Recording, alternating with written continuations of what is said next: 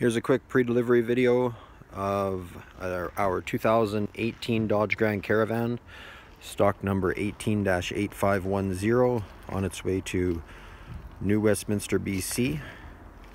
We just want to have a quick look at it, make sure it's clean. We know there's no damage on it.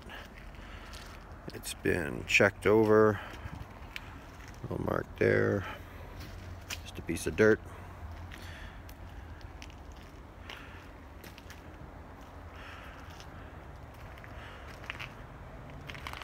We've had a couple of delays in getting this thing going.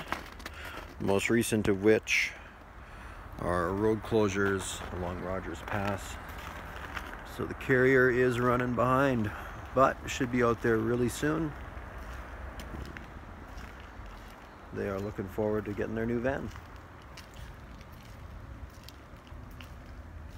So, no damage, nice and clean when it leaves. And I'm sure all will go well and it'll be in similar condition when it gets there.